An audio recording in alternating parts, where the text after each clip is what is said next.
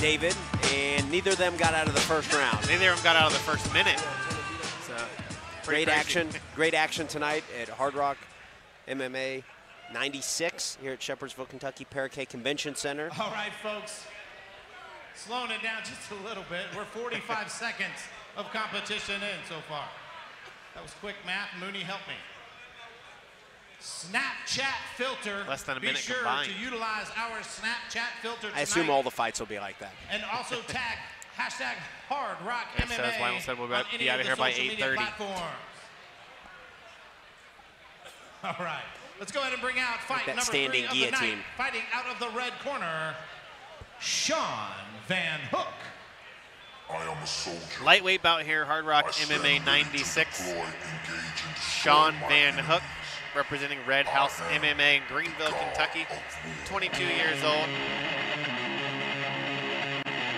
Said he got into MMA from Army combatives classes and helped one of his coworkers get ready for a fight last year and decided, hey, I might try this thing, uh, thing myself. So,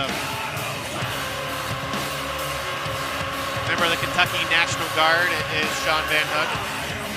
Both of these guys, interestingly, really tall for the 155-pound division. Van Hook is six feet tall. Ferguson is front of Marshall Ferguson, six foot one.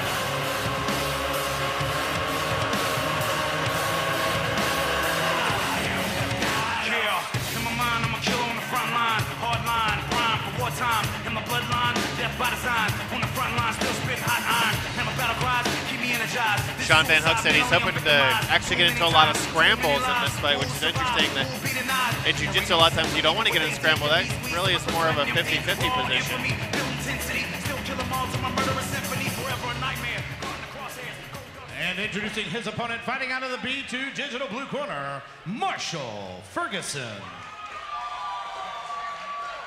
Marshall Ferguson representing Apex MMA from right here in Shepherdsville.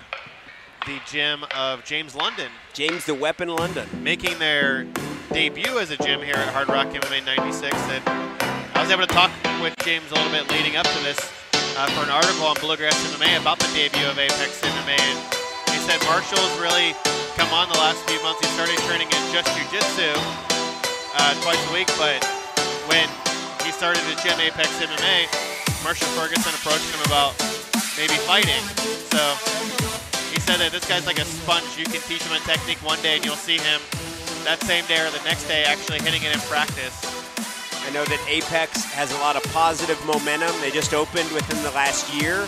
Some great training partners out there. I know Brody, uh, you know Isaac. They've got a bunch of great guys over there. Very tough gym, very well respected in the Louisville and Shepherdsville area. And Marshall Ferguson also told me he has a background in Taekwondo and Judo when he was in high school. So true martial artist, 25 years old. I watched his vid. uh, What's it called? A vlog? Do you see that? He- He's Yeah, I updating mean- updating his fans via, I believe it's a week, uh, maybe a weekly vlog. Really interesting for a guy making his pro debut, knowing how to market yourself from day one. Is that's pretty cool, pretty amazing. Actually, is uh, uh, in a program called Code Louisville, which is a local web development coding boot camp after graduating from the University of Louisville last year. So uh, definitely a, a technically savvy guy is Marshall Ferguson. which is that's a lot of it these days is if you can market yourself you got to win but the marketing side of things regardless of how you do it the people know who you are and i watched the vlog it was intriguing you know he was talking about how he came up doing taekwondo and he's ventured into jiu-jitsu and to different martial arts we have Ju- one Junie Millar and James the Weapon London in Marshall Ferguson's corner. Those That's are a pretty pretty good corner there. that is a heck of a corner. Junie Millar, obviously the, the head coach for one Lance Lawrence, very experienced, accomplished, and James the Weapon London, very accomplished fighter himself. First fighting out of the red corner, weighing in at 154 pounds, representing Red House MMA from Greenville, Kentucky, Shaun Van Hook. And introducing his opponent, fighting out of the B2 Digital Blue Corner, weighing at 155 pounds, representing Apex Martial Arts Academy from Shepherdsville, Kentucky, Marshall, the Professor Ferguson.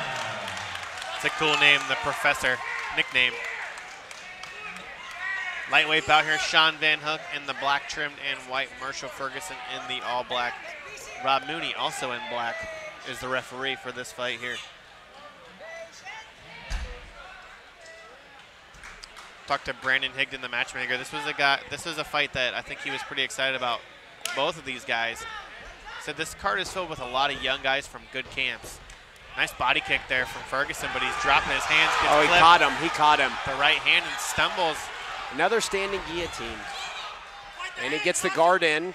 Interesting decision there for, for Van Hook. Van Hook does go for the, the guillotine with the, the closed guard. Doesn't Ferguson is, is trying to fight it.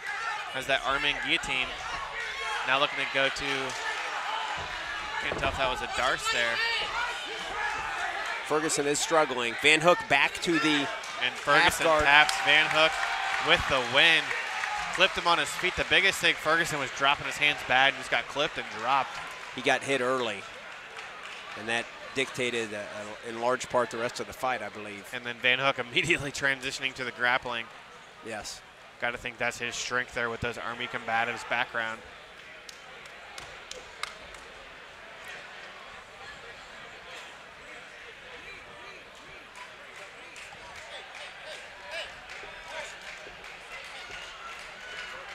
Impressive performance there, Shaun Van Hook, Red House MMA.